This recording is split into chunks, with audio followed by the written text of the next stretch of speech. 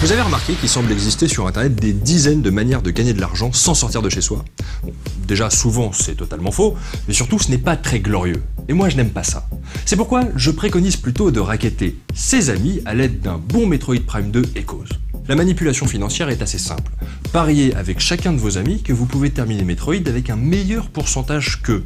Donc là, normalement, tollé général, levé de bouclier, c'est scandaleux. Et avec un peu de chance, il y a même un type qui vous dira Non, mais moi, si tu veux, Metroid, je le termine quand même à 100%, tu vois. Donc. euh, Pas de pitié, on se fait plaisir, on parie deux fois plus avec un type comme ça. Et vous annoncez fièrement que vous, vous terminez Metroid à 101%. Vous les laissez se marrer et vous enfilez votre tenue de chasseur.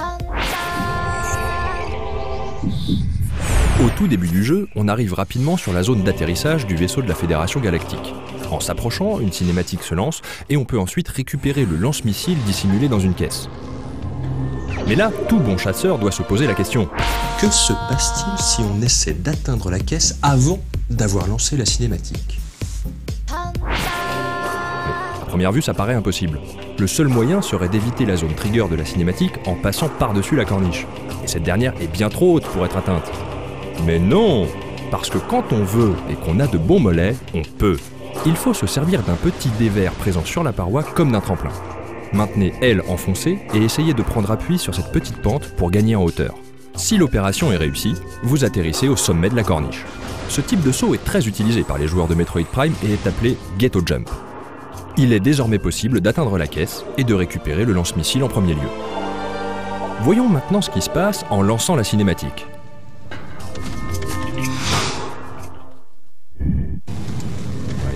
Oh les shit La caisse est réapparue On peut prendre le lance-missile une seconde fois Les développeurs n'ont pas du tout pensé qu'il était possible de récupérer cet objet au préalable et le font apparaître quoi qu'il arrive à la fin de la cinématique.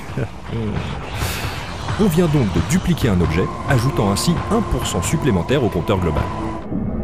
Il ne reste plus qu'à finir le jeu en prenant tous les objets pour finir à 101%. Mais la question que l'on doit se poser maintenant c'est Peut-on dépasser la limite des 255 missiles vu qu'on vient d'en récupérer 5 bonus? La réponse est non. En prenant la dernière extension de missile, vous resterez à 255. C'est dommage, mais c'est la vie, et on savoure quand même le fait d'avoir un beau 101% qui s'affiche dans le menu, et ça, c'est la classe. Et pour ceux qui veulent se marrer un bon coup, mais alors là vraiment se fendre la tronche, attention, si vous n'activez pas la cinématique et que vous revenez plus tard, des ennemis seront apparus. La cinématique sera alors beaucoup plus drôle que l'original grâce à ses figurants supplémentaires et un peu désemparés.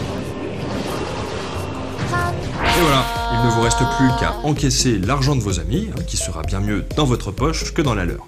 Et ensuite faire une vidéo sur internet pour expliquer comment grâce à Metroid, bah, vous êtes devenu milliardaire.